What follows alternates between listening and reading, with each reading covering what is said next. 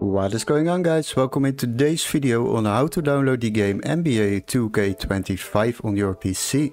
So if you buy games at Steam it can get really expensive, especially the latest ones. Plus downloading from random websites can lead to viruses. Nobody wants that.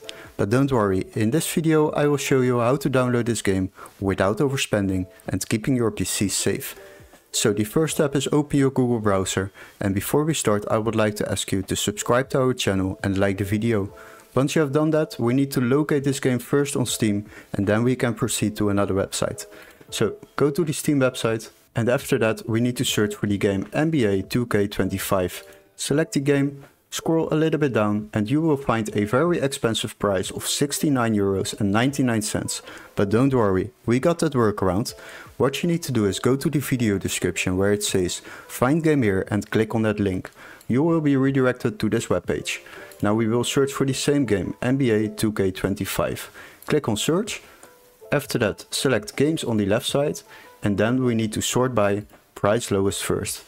Once you have done that, you will find different options. Now the option we are looking for is a PC version which can be activated in our country, so this text needs to be marked green.